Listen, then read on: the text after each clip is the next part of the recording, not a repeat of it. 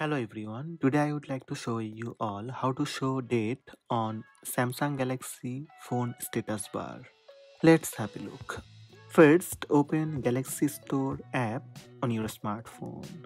Then search for Good Lock app. Hit Good Lock. Install Good Lock app on your Samsung Galaxy smartphone. When Good Lock app installed, you can tap open or go to home screen and open Good Lock app.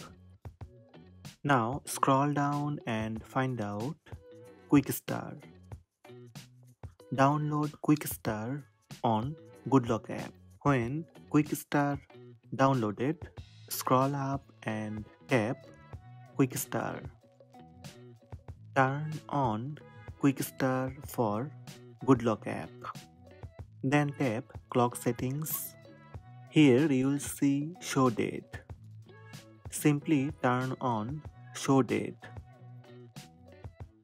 Immediately you will see date showing beside clock on top left status bar. So these are the steps to show date on Samsung Galaxy phone status bar.